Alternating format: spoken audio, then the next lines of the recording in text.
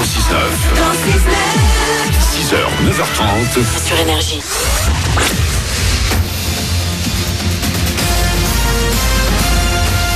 Toute l'actu sur Monaco Menton avec Frédéric Plat.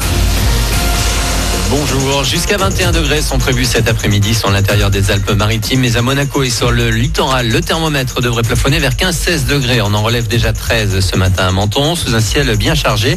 Météo France annonce des éclaircies pour cet après-midi, la même pour demain, avant un week-end au top avec un ciel tout bleu.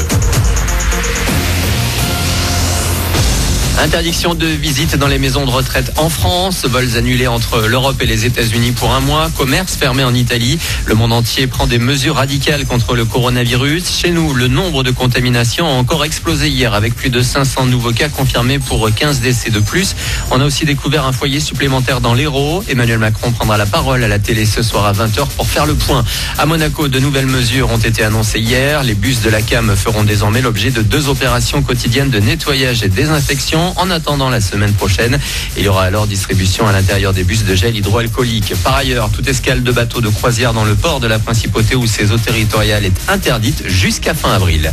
En Italie, où on compte plus de 800 décès, on est euh, donc à fermer la plupart des commerces hors alimentation et santé.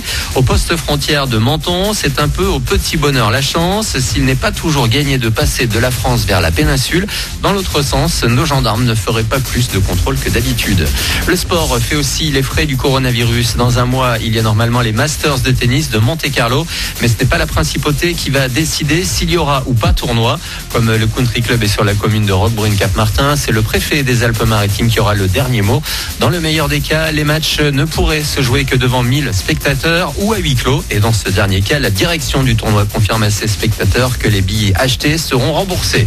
Également dans l'actu, Cédric Héroux, 8 à 10 mois de prison avec sursis ont été requis hier à Lyon contre l'agriculteur de la Roya, symbole de l'aide aux migrants.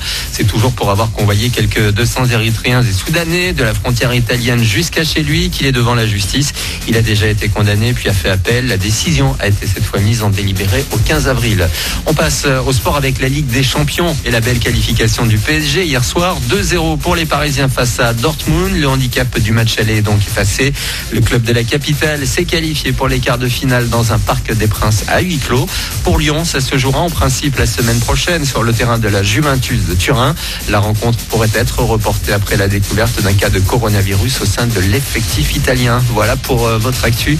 Il est 9h04 sur Énergie Monaco Menton. On est jeudi aujourd'hui, le 12 mars. Manu dans le 6-9 pour vous accompagner pendant encore une petite demi-heure. Très bon début de journée à vous.